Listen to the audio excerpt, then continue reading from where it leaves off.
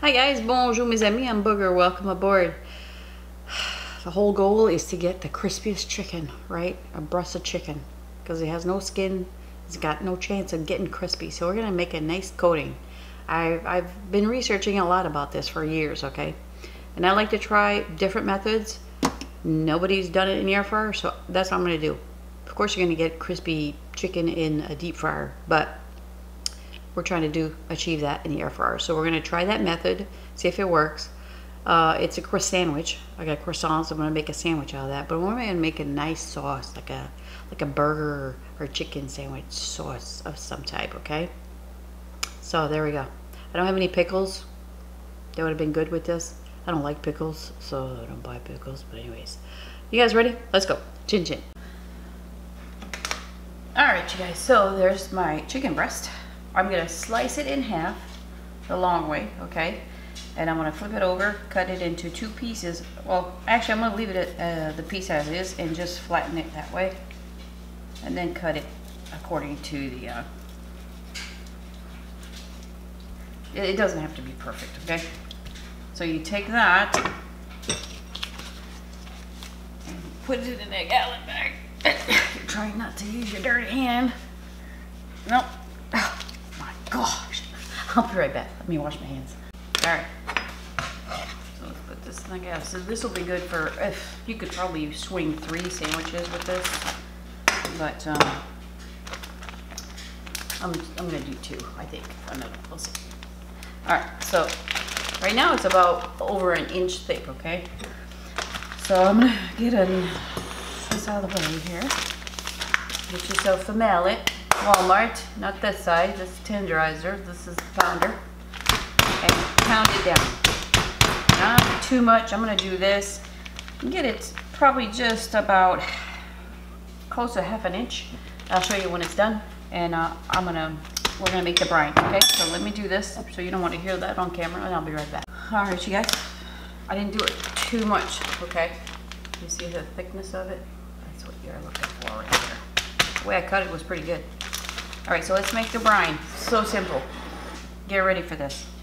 That is a cup of water, cold water, okay? I'm putting this in the fridge. You don't want to put like tap water or warm water, you know, because you keep it cold, okay? So here I have a teaspoon of salt. And I'm doing a half a teaspoon of sugar. There we go. Mix this up so it's just dissolved. Dissolves. Sometimes the Canadian is there, Yeah. All right, so I'm not cooking this today. We're gonna, we're gonna cook this tomorrow in the air fryer. So the longer you put it in the fridge, you know, at least four hours, but overnight is better. So I'm gonna flip this over a couple times when I'm opening the fridge up. And uh, this is gonna help the chicken be tender. Okay, so I'll see you guys tomorrow. We'll be back. Actually, I, I, think I'm gonna make a sauce and let that sit in the fridge too. I'll show you the sauce. We'll be back. Let's, do this ahead of time. So here I have a half a cup of some good mayonnaise. That's my favorite, our favorite, I should say. Now there's no label on this one, but it's Uncle Steve's barbecue sauce or uh, the no name sauce, I think it's called. Anyways, I want to put a link to that. Oh my God, best barbecue sauce in the world. Look at the spices in that. I'm telling you, once you have this, that's it, you're done. So I'm gonna put about, uh, let's see, oops, make a mess. Oh, that's two. That's three. Three tablespoons of that. Some Dijon, Dijon mustard. And this, we're gonna put a couple teaspoons of that in there. Hey, make sure you make a mess. You're not a real cook if you're not making a mess. It's ridiculous. So two teaspoons of that, okay? So I'm gonna mix this up with this in the fridge and this will have time to get married and get to know each other and I'll see you guys tomorrow. All right, so it's the next day. Let's make our battering station. This is gonna be weird, but trust me, it's gonna work. So I got one large egg here that we're gonna um, scramble up.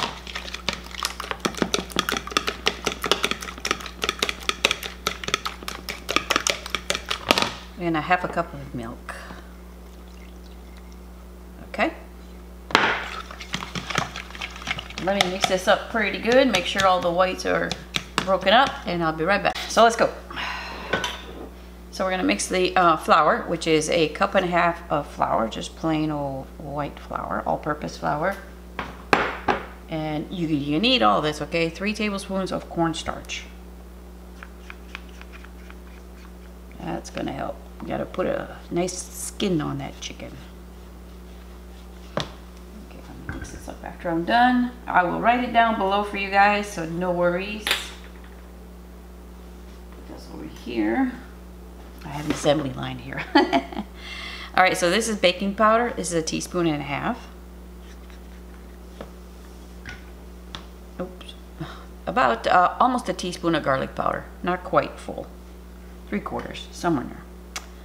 And here's some freshly cracked black pepper. That's a whole tablespoon, okay? A heaping tablespoon. You want fresh cracked. That's gonna stick out, okay? And this is accent. That's one teaspoon, okay? The accent will enhance everything else. It's gonna bring out all these flavors. So that's a must have. Now be careful with that. That's MSG, okay? Um, but we can handle it here. Um, this is paprika. This is a teaspoon, and I'm using this. I always use this. Hungarian um, paprika. It's hot. Okay, I'll put a link on Amazon. That's where I get it. And that's a good teaspoon of that. It's not that spicy, so you could do regular paprika if you can't do it, but it's it's just it's just lovely. Oh, I forgot to turn my phone off. Excuse me. And this is um, about a half a teaspoon of sea salt. Okay, so let me mix this up and then we'll go to the next step. All right, look how pretty. You can see the pepper flakes in there. Oh, yeah. Don't freak out again. You're gonna put four tablespoons of that stuff in there. Oh yeah. One, two, three, and four. They weren't quite full, so let me put this in here. All right. So at this point, that's kind of like the batter that I do with uh, the Louisiana fish fry, or it's, it's, I think it's called fish fry. But anyways, that's kind of what they do. They put uh, five tablespoons of the dry stuff and uh, half a cup of cold water. So it's kind of like this, but different. So mix this up with a fork and I will be back, okay? And show you what it looks like. So I took the chicken out and I got two good pieces for a sandwich there and kind of like a chicken tender for the little one, for the grandbaby. All right, so you could do tenders or whatever, you know, fingers, chicken fingers, whatever you want to call them. I'm going to show you the air fryer in a minute, but let me show you what I'm doing with this here so we can figure it out. It's a Rapid Crisp air fryer by DeLonghi. Okay, this is the pan and this is olive oil.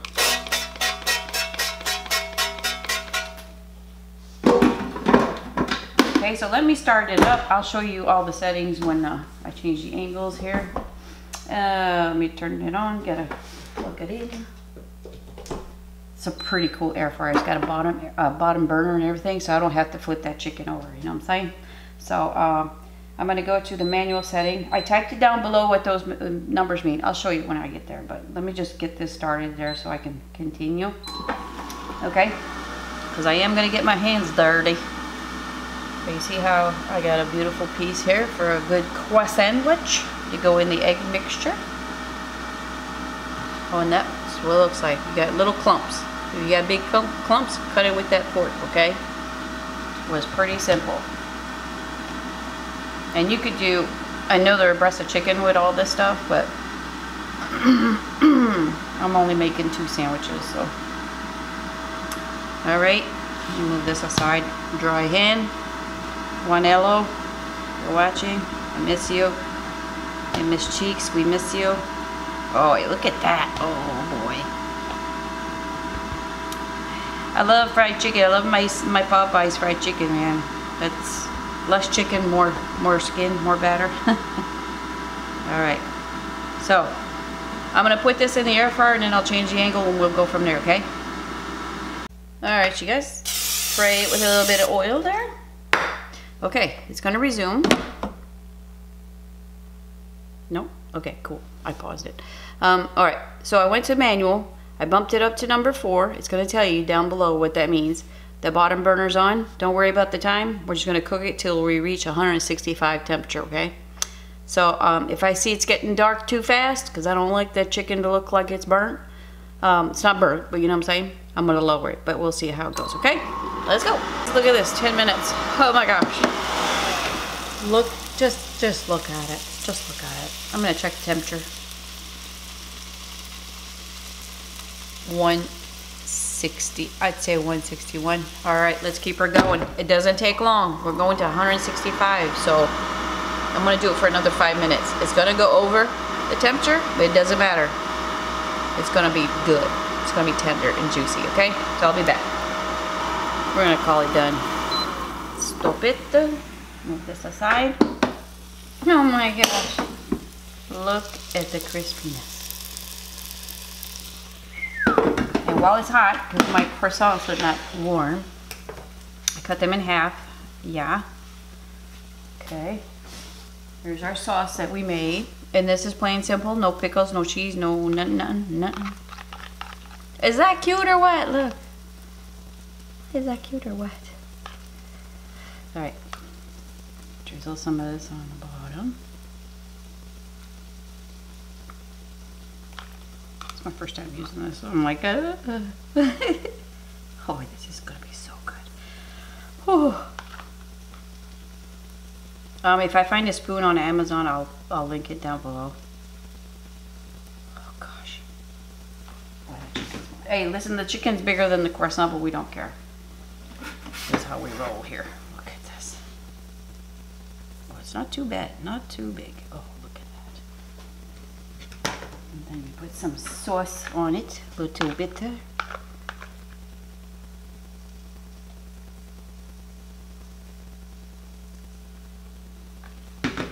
You cover it there and it's gonna warm the top bun because that chicken is super hot.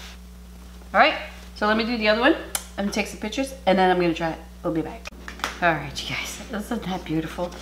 I got these envelope out of their, their wax paper to put your burgers and stuff in. Like I saw this in uh, in Japan when I had the best burger in the world was at the uh, uh, Japan airport. But you just put this in there is that not cute? That's beautiful. So it keeps all the juices and the crumbs. Uh, my daughter's taking this uh, on the road, so that's why I did that. Just to show you guys.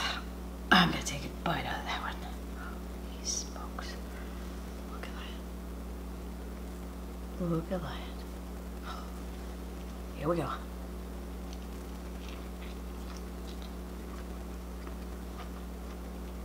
Mm-mm-mm.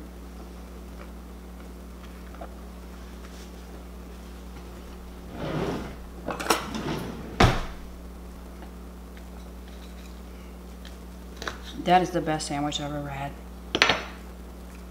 There's the bottom.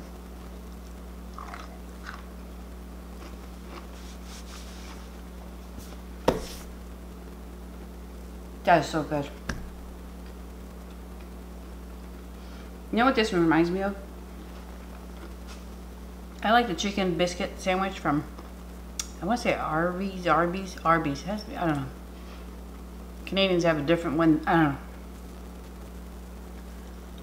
that is just reminds me of this that chicken does you guys you have to try this and the way to make the chicken crispy especially if it doesn't have skin on it that's the way all right? You could add spice to that you could add um, uh, cayenne to it whatever but it's so good. You guys thanks for shopping. Bye bye